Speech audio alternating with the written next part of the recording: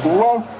زه بلنه ورکوم زموږ د ترین قومي مومند صوبایي صدر ایت الله خان ترین ته چې دی راسي ستوی په مخ کې د دا میرټ پر دا ګرد دو باندې خپله روشني واچي ستوی په مخ کې بیان وکړي صوبایي صدر ایت الله خان ترین ته بلنه ورکوم چې دی راسي د خپل کار ټولګار وکړي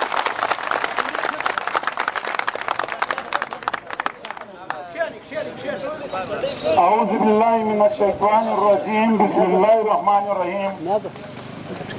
د ټولو مخکې زه د ټولو عوام ته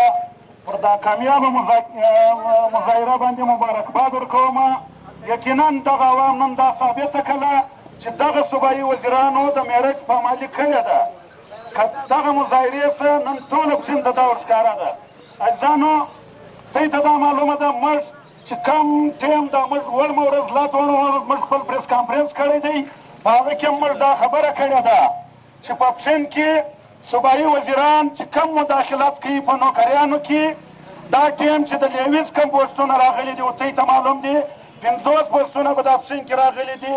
شل دغه وزیرانو په غلا خرڅ کړي دي دا ټولو ته ورمعلومه ده دا ډېره د شرم خبره ده عزیزانو یو خوا ته دغه وزیران دا خبره کوي دا صوبایي وزیران یو خوا ته دا خبره کوي چې موږ په دغه صوبه کې موږ په دغه ملک کې شعري نظام د پاره کوشش کوو موږ شعري نظام راولو زه دا خبره کوم چې دا صوبایي وزیران د خپل نارې سره مخلص نه دي دا صوبایي وزیران د خپل منشور سره مخلص نه دي دا صوبایي وزیران د خپل دستور سره مخلص نه دي دا دوی ټول ته در معلومه ده الله پاک دا وایي چې زه و انسان ته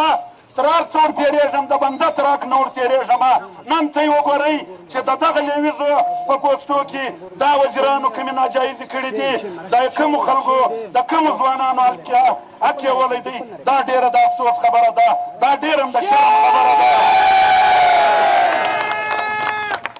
اجزانو دا ته ته در معلومه ده په دغه سیند کې دا اوس د ایجوکېشن پوسټونه راغلي دي، ډېر پوسټونه لګېدلي دي، دا صوبايي وزیرانو خرڅ کړي دي، په دغه سیند کې هېڅوک هم په دې نه دی خبر، په دا کې ډېر والیان لګولي دي، دا صوبايي وزیرانو خپل وروڼه ایله کړي دي د دلالۍ لپاره چې د دوی وروڼه د خلکو سره دغه بارګنینګ کوي، خلکو ته دا وايي. زما یو ملګری ما له رالی ول پلاني راته وویلې که یو نیم لاک روپۍ لرې راسه دا نوکري در کوم دا ډېره د شرم خبره ده بله خبره دا ځانو ماش ترین قومي مومنټ دا خبره کوو